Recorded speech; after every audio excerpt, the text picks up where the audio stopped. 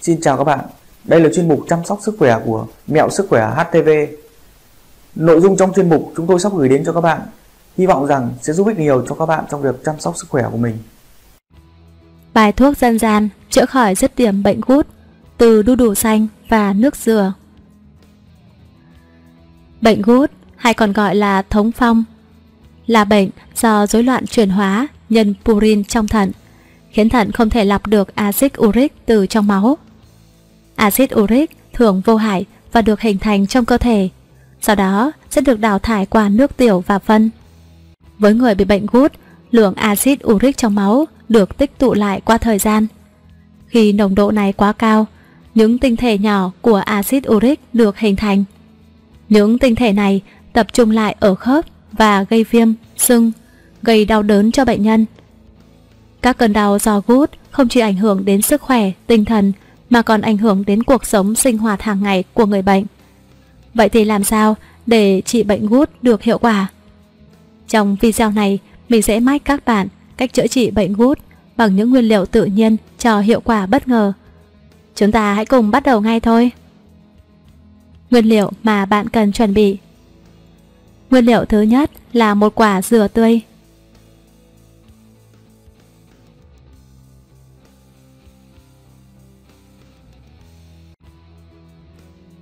Nguyên liệu thứ hai là một quả đu đủ xanh.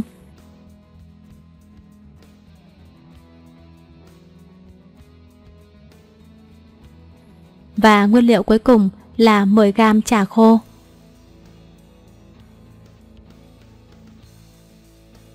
Đây chính là ba nguyên liệu mà bạn cần chuẩn bị đấy. Với ba nguyên liệu này thì ta có cách thực hiện như sau. Đầu tiên với quả dừa này, bạn hãy bổ nó ra và thu lấy phần nước dừa nhé. Ở cách làm này, chúng ta chỉ sử dụng phần nước thôi. Đây chính là nước dừa mà chúng ta đã thu được.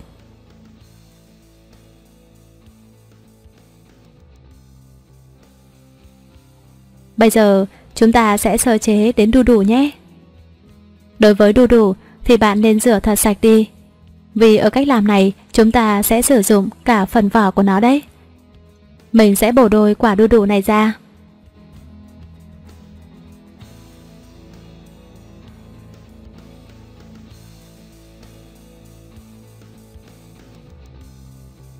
Chúng ta chỉ sử dụng một nửa quả đu đủ thôi các bạn ạ. À.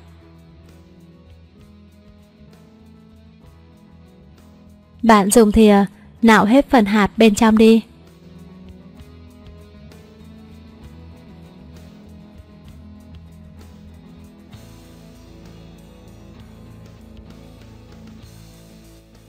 Mình sẽ mang đu đủ đi rửa sạch nhé.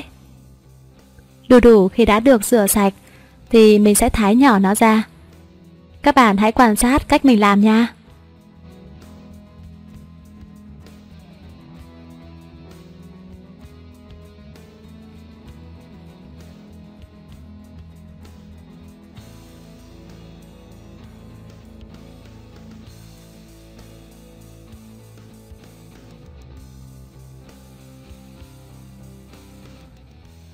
Đây là đu đủ sau khi đã được sơ chế xong rồi.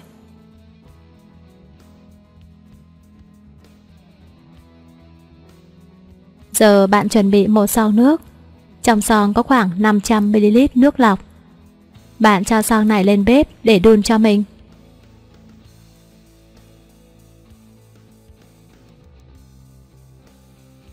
Khi mà nồi nước của chúng ta đã sôi, thì bạn cho đu đủ đã sơ chế vào và đun tiếp.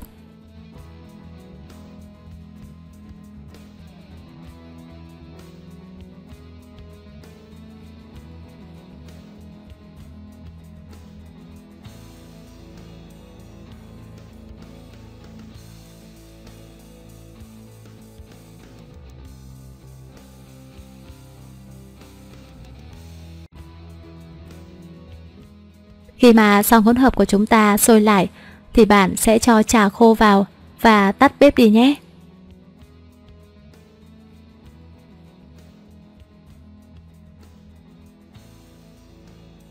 Bạn đậy vung lại và ủ hỗn hợp này thêm khoảng từ 3 đến 4 tiếng. Đây là hỗn hợp của chúng ta sau khi đã được ủ khoảng 4 tiếng đồng hồ rồi.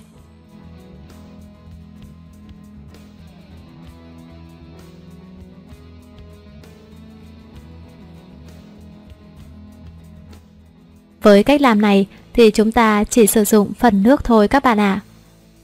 Mình sẽ dùng dây lọc để lọc lấy phần nước nhé.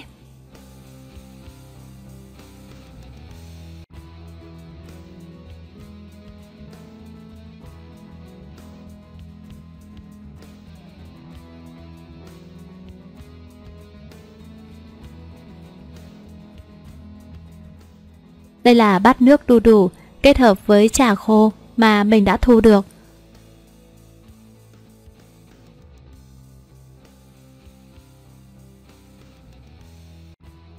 Và còn đây là bát nước dừa tươi của chúng ta. Bây giờ, mình sẽ đổ nước dừa vào bát nước trà khô và đu đủ này. Bạn nhớ là tỷ lệ của hai loại nước này chính là 1-1 đấy nhé.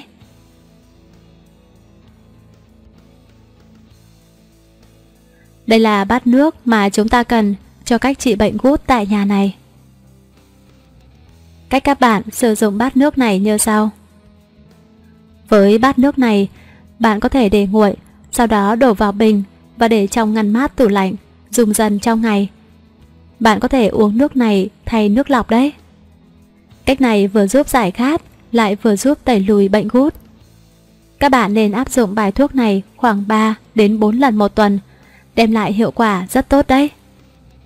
Để bài thuốc phát huy hết tác dụng, bạn nên kết hợp với chế độ ăn ít đạm từ thịt động vật, tăng cường rau xanh và hoa quả tươi.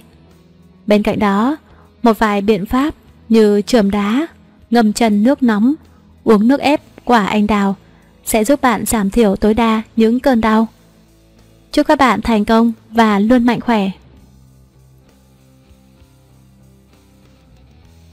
Chúng tôi hy vọng rằng với chuyên mục này, với nội dung trong video sẽ giúp ích nhiều cho các bạn trong việc chăm sóc sức khỏe. Xin chào và hẹn gặp lại các bạn ở những video sau.